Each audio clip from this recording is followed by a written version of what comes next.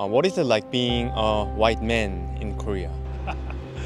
Okay, so uh, interesting question. I think it's very much changed over time. When I came to Korea 16 years ago, a white person was very rare, or any foreigners at all, especially outside of Seoul. You always felt like people were watching you or treating you differently. It's very different now. Nowadays, I usually don't even think about the fact that I'm different. I feel totally normal most of the time, but not always. I do feel like there might be a higher level of tolerance for certain nationalities, for example, Canadian or American versus other nationalities. I feel more welcome. It's just how you feel in public around people on the subway or on the bus. Again, I don't want to speak for the Korean nation, but Koreans might have some reservations or feel perhaps a little bit nervous around nationalities they're less familiar with.